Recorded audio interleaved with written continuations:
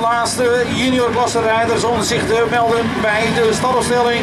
Zodat we van start kunnen gaan zometeen. Maar we zijn eerst de stad gegaan met de vrijstonderklasse.